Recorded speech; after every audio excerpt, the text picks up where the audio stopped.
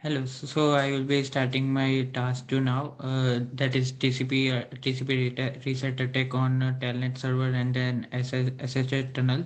Uh, so for that, I am using my three uh, three uh, three machines. That is one user server, and this is my attacker machine. For my user user, it is the IP address is ten point zero point two point two point six and then uh, server IP address is 10.0.2.4 and my attacker's IP address is 10.0.2.5 uh, so for that now I first of all I will do the uh, the TCP reset attack on my telnet server.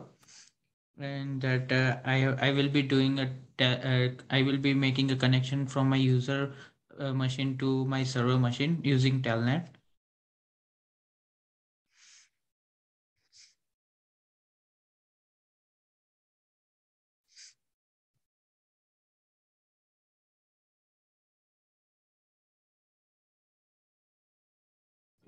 So as we can see now, I have uh, now I have successfully uh, connected to my uh, to my uh, server's machine using from my user's machine. I can also show from uh, uh, using ipconfig.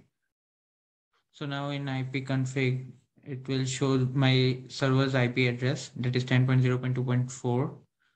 So I'm connected right now. Now I will go to my attacker's machine. In that I so I will be using a networks uh, networks command. Uh, this command will uh, block the uh, like block the connection between uh, both of the like my user and server. Uh, you, so I will I'm directly attacking my server's IP address using this command. So now the attack is started. I pressed enter over here.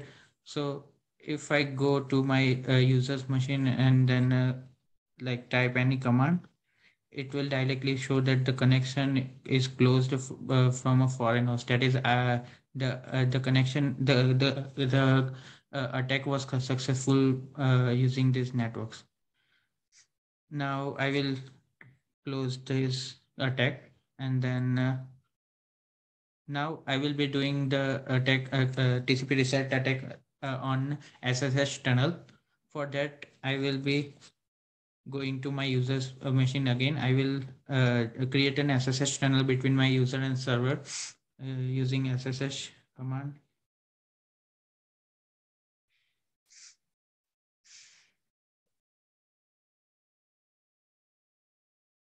So now I have uh, successfully created an SSH tunnel be, uh, between my uh, user and the server. Now again, if I run the same command as uh, same command where I'm attacking my server's uh, server's machine. So it will just broke the tunnel, broke the like SSH tunnel. So I started the attack now.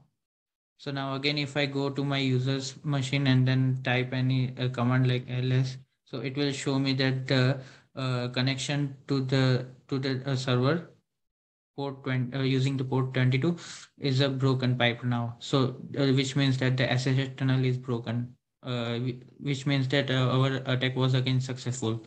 So this was my task two